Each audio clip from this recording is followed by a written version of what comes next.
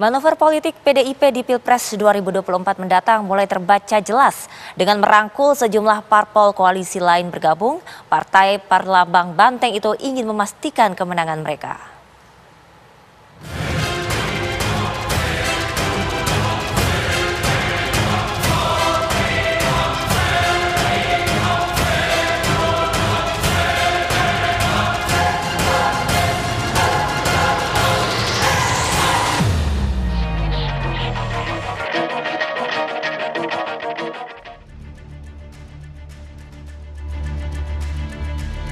Partai Demokrasi Indonesia Perjuangan (PDIP) benar-benar ingin memastikan langkah mereka mengusung Ganjar Pranowo sebagai presiden tak terbendung di Pilpres 2024 mendatang. Satu persatu, PDIP mulai menambah kekuatan dengan merangkul sejumlah partai politik, baik yang berada di parlemen maupun non-parlemen. Elit PDI Perjuangan bahkan menginisiasi penggalangan kekuatan itu dengan mendatangi kantor DPP Partai Persatuan Pembangunan P3 di Jakarta pada akhir Mei lalu. Pertemuan membahas kerangka pemenangan bakal capres Ganjar Pranowo serta koordinasi dan konsolidasi relawan pemenangan.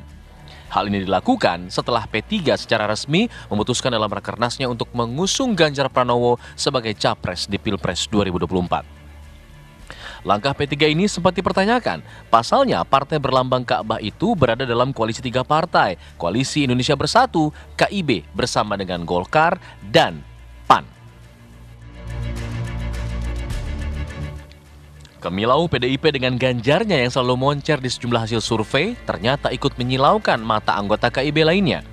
Partai Amanat Nasional, PAN, ikut kepincut dengan menyambangi kantor DPP PDIP di Jalan Pangeran Diponegoro, Menteng, Jakarta Pusat. Pertemuan kedua partai ini merupakan kali pertama dalam konteks kerjasama Pilpres 2024. P3 dan PAN tahu betul potensi PDIP di Pilpres 2024. Mereka pun bermanuver dengan menawarkan nama-nama bakal cawapres untuk Ganjar. Kencang berhembus, P3 bakal menawarkan nama Men Parekraf Sandiaga Uno yang sampai saat ini masih menunggu peresmian status di Partai Hijau itu.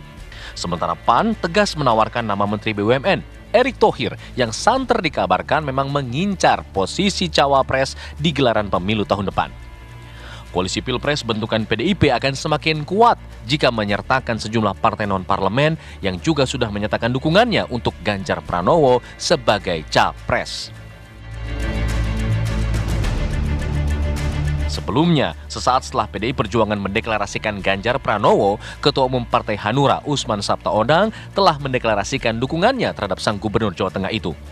Bertempat di kediamannya, Usman Sabta mengaku mendukung sepenuhnya Ganjar sebagai calon presiden, sementara untuk calon wakil presidennya sepenuhnya diserahkan kepada Ganjar.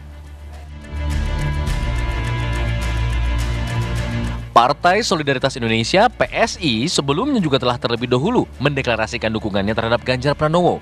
PSI menjadi partai pertama yang mendukung Gubernur Jawa Tengah ini untuk maju sebagai calon presiden dalam pemilu 2024 mendatang. Namun dari semua partai non-parlemen itu, baru Perindo pimpinan Haritanu Sudibyo yang resmi diajak bertemu di kantor DPP PDIP.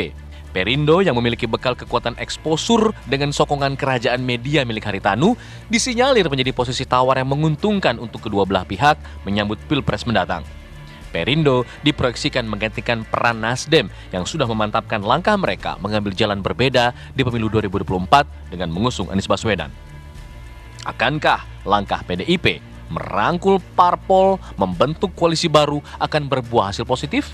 Yang pasti, koalisi lawan politik PDIP tidak akan tinggal diam dan kembali menyusun strategi menghadapi gelombang kekuatan besar partai berlambang banteng moncong putih tersebut.